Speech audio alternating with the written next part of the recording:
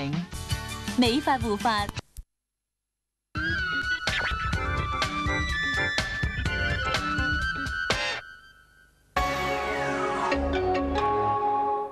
方正电脑，生活中有时问题看起来很严重，其实。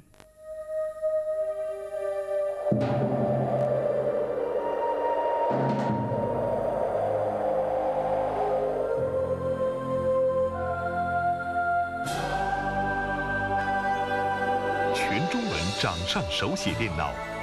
商务通，科技让你更轻松。恒基伟业。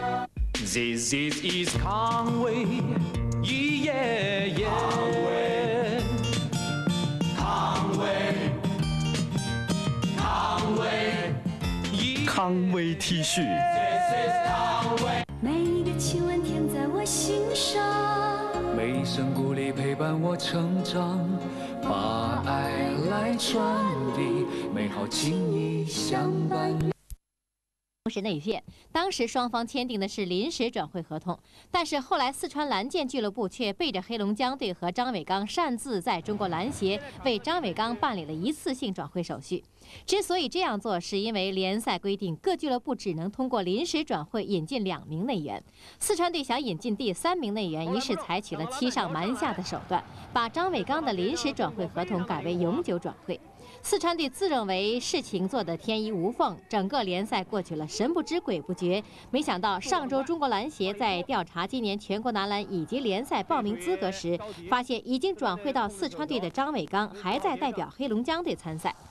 经过调查，终于发现了四川队的作弊行为。这是我们在九八至九九全国甲甲 A 联赛中，在运动员注册方面进行了做了违规，啊，犯了违规这个错误。国家体育总局篮球运动管理中心根据有关规定，决定取消四川队甲 A 联赛第十名的成绩，降为甲 B，其甲 A 席位由江苏南钢队接替。本赛季四川赛区曾因上改比分、私调时钟两次遭到处罚，不过篮管中心负责人认为，此次处罚与前两次并没有必然的联系。呃，不是这个数罪并罚，哎，就这一件事情，按规定就可以取消他的成绩。据悉，四川蓝箭队将可以参加今年的甲 B 联赛，若能跻身前两名，则重回甲 A。这是中央台报道的。备战八月份亚洲锦标赛的新一届中国男篮，今天下午进行了集训后的第一堂训练课。一九九五年离开国家男篮，担任辽宁省体委副主任的蒋兴权，又开始了他新的教练生涯。蒋兴权一九九一年到一九九五年执掌国家男篮，三夺亚锦赛的冠军。一九九四年夺得第十二届世界锦标赛第八名，取得了中国篮球史上历史性的突破。九五年，蒋兴权离开了国家队，担任辽宁省体委副主任。由于王菲因身体原因辞去了主教练一职，蒋兴权又一次回到了他四年前的位置，重新带领国家队力争夺取亚锦赛的冠军，拿到亚洲唯一一张奥运会的入场券。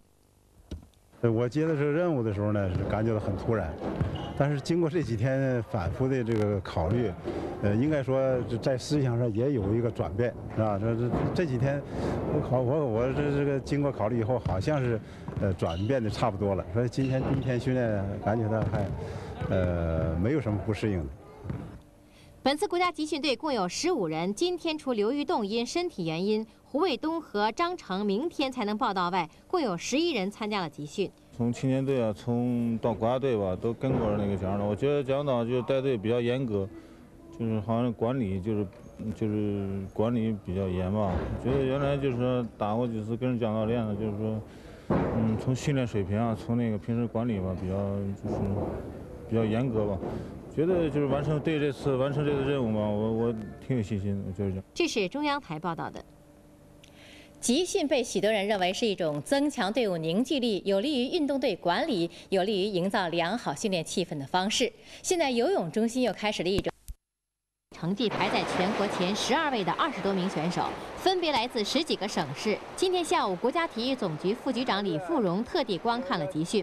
混合泳为中国游泳优势项目，吴艳艳、陈妍分别保持着女子200米、400米个人混合泳世界纪录。本次集训，著名的教练卢永明、韩冰岩等将指导训练并讲课。游泳中心希望通过本次集训交流经验，提高训练水平，加强队伍的管理。那个主要目的呢，就是说，呃，结合这个混合泳这个项目，它的一些呃主要的技术环节啊，大家科研攻关。我们还要加强一下国家。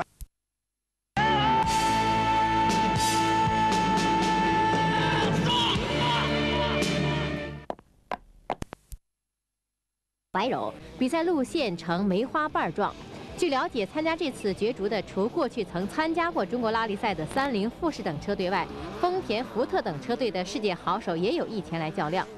中国汽车联合会自1983年开始发展汽车拉力赛运动，并于1996年向国际汽联正式申请举办世界锦标赛分站赛。从1997年开始，中国每年举办一次汽车拉力赛。经过考察，国际汽联认为中国拉力赛的。